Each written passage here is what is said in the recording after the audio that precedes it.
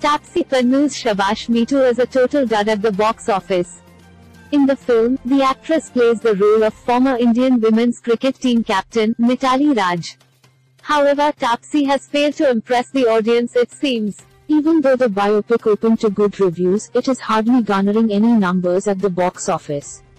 Unfortunately, the reviews failed to pull the audiences to the theaters.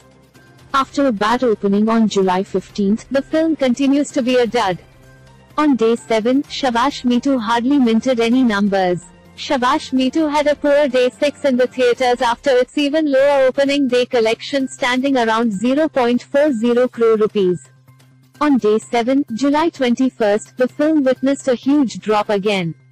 Shabaash Mithu hardly collected any money as its total box office collection reportedly stands at 2.14 crore rupees now, according to early estimates. There is hardly any difference from its previous day's collection. Shabaash Mithu was released along with Rajkummar Rao and Sanya Malhotra's star hit, The First Case. While the Rajkummar Rao film showed a jump, Taapsee's stellar performance failed to draw people to the cinema halls. For the film, Taapsee Pannu had to undergo rigorous training to look the part.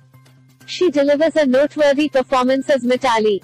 In an earlier interview, Taapsee mentioned that she took inspiration from Shah Rukh Khan in Chak De to motivate herself during the shoot for Shabaash Mithu.